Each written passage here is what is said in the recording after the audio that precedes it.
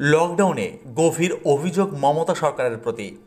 অভিযোগ করে রাজ্যের মুখ্য সচিবকে কড়া ভাষায় চিঠি দিল কেন্দ্র। চাপে পড়ে নথি স্বীকার রাজ্য সরকারের। এবার রাজ্য পরিদর্শন করবেন কেন্দ্রীয় প্রতিনিধি দল। করোনা সংক্রমিত এলাকা পরিদর্শন নিয়ে সোমবার থেকে চলছে কেন্দ্র রাজ্য সংঘাত। আজ এই সংঘাতে ঘৃতাহুতি দিলেন কেন্দ্রীয় প্রতিনিধি দলের প্রধান অপূর্ব চন্দ্র বাংলায় সংক্রমিত এলাকা পরিদর্শনে এসে ক্ষোভ প্রকাশ করলেন তিনি। রাজ্যের তরফ থেকে যথাপ উপযুক্ত সাহায্য না পাওয়ার অভিযোগ করেন তিনি। অন্যদিকে চাপের মুখে পড়ে পরিস্থিতি সামাল দিলেন মুখ্য সচিব রাজেশ কিমনা। আইসি এমটি প্রধানের সঙ্গে সাক্ষাৎ করেন বালিগঞ্জ বিএসএফ ক্যাম্পে। কলকাতা পুলিশ ও বিএসএফকে নিয়ে পরে যাদবপুরের উদ্দেশ্যে রওনা দেয় কেন্দ্রীয় প্রতিনিধি দল। রাজ্য প্রশাসনকে না জানিয়ে লকডাউনের প্রস্তুতি ক্ষতি দেখতে রাজ্যে হাজির হয়েছে কেন্দ্রীয় দুই প্রতিনিধি দল। তাই নিয়ে সোমবার থেকে জলগোলা হয় রাজ্যে। রাজ্যের অভিযোগ ছিল, প্রোটোকল না মেনেই রাজ্যের সংক্রমিত এলাকা পরিদর্শনে চলে গিয়েছিলেন তারা। এই নিয়ে অবশ্য প্রধানমন্ত্রীর কাছে চিঠিতে ক্ষোভ প্রকাশ করেছেন রাজ্যের মুখ্যমন্ত্রী মমতা বন্দ্যোপাধ্যায়। তবে আজ পাল্টা মুখ্যমন্ত্রীর বিরুদ্ধে অসহযোগিতার অভিযোগ তুলেছেন আইসিএমটির প্রধান অপূর্ব চন্দ্র। তার অভিযোগ, অন্য রাজ্যগুলিতে যে প্রতিনিধি দলগুলি পাঠানো হয়েছে, সেখানে তারা পূর্ণ সহযোগিতা পাচ্ছেন। কিন্তু বাংলা প্রশাসনের তরফ থেকে কোনো সাহায্য পাচ্ছেন না। সোমবার রাতেই আমরা নবান্নে গিয়ে সাক্ষাৎ করি মুখ্য সচিবের সঙ্গে। আমাদের জানান, আজকের কিছু সমস্যা রয়েছে, তাই পরিদর্শন সম্ভব নয়। তবে বিকেলের দিকে পরিস্থিতি সামাল দিতে বালিগঞ্জ বিএসএফ ক্যাম্পে যান রাজ্যের মুখ্য সচিব রাজীব সিনহা।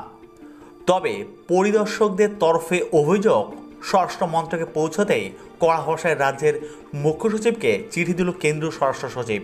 তাতে স্পষ্ট উল্লেখ করা হয়েছে, এই পরিস্থিতিতে কেন্দ্রের সমস্ত নির্দেশিকা যেন পালন করে রাজ্য- রাজ্য সরকার।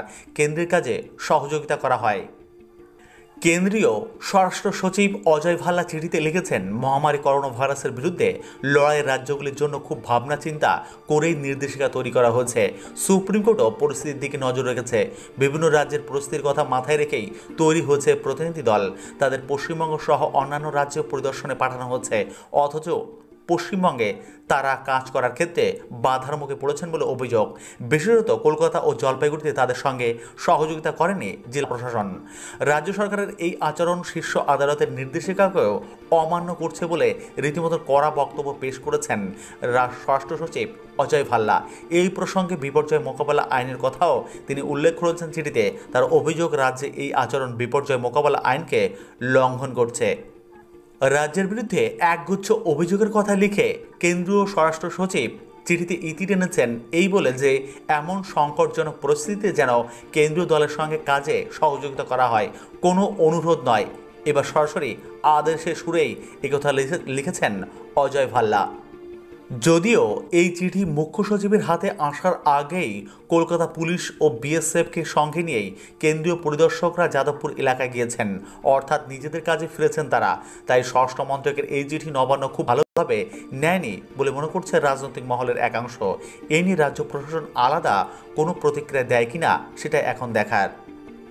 তো এটি ছিল কিন্তু সম্পূর্ণ রিপোর্টটি। ভিডিওটি ভালো লাগলে লাইক, কমেন্ট এবং শেয়ার করবেন এবং কেন্দ্রীয় দলের সঙ্গে অসহযোগিতা করছে রাজ্য মুখ্য সচিবকে কড়া ভাষায় চিঠি তুল কেন্দ্র। এই প্রসঙ্গে আপনি কি মনে করছেন? অবশ্যই কমেন্ট বক্সে লিখবেন। নতুন হলে চ্যানেলটির সঙ্গে জুড়ে থাকবেন। সাবস্ক্রাইব করে একবার চ্যানেলটি। ভিডিও দেখার জন্য অসংখ্য ধন্যবাদ।